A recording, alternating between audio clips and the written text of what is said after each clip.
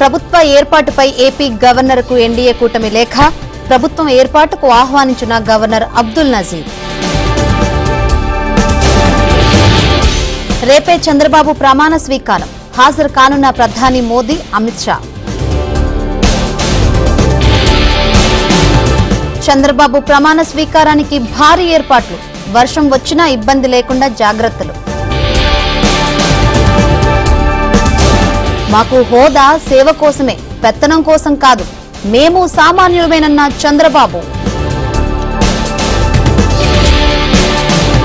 State first నినాదంతో ముందుకు వెళ్తాం వికసిత్ ఏపీ లక్ష్యమన్న చంద్రబాబు. అమరావతి మన రాజధాని విశాఖ ఆర్థిక రాజధాని. జగన్ విధ్వంసకర పాలనను జనం తరిమి కొట్టారన్న చంద్రబాబు.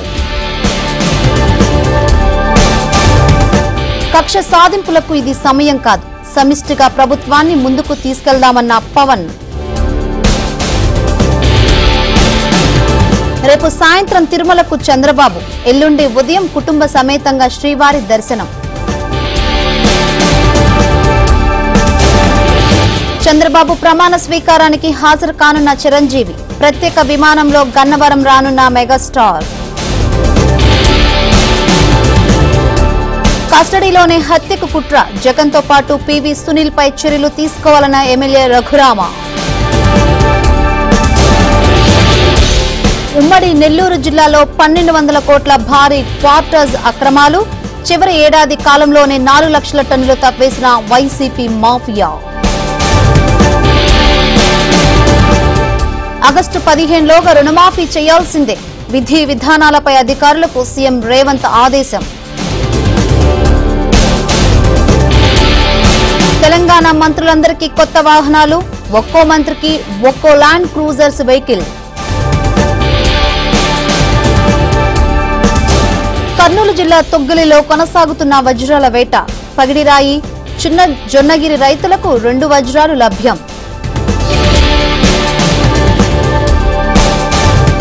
కాళేశ్వరం ప్రాజెక్టుపై దర్యాప్తు ముమ్మరం. ఇవాళ కమిషన్ చీఫ్ చంద్రఘోష్ ముందుకు పద్దెనిమిది మంది అధికారులు.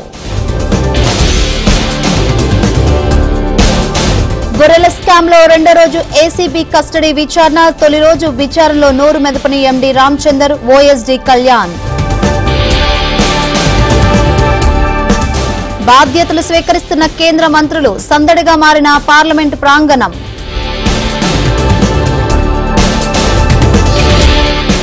తెలుగు రాష్ట్రాల్లో కొనసాగుతున్న ఉపరితల ఆవర్తనం ఏపీ తెలంగాణలో నేడు రేపు మోస్తరు వర్షాలు.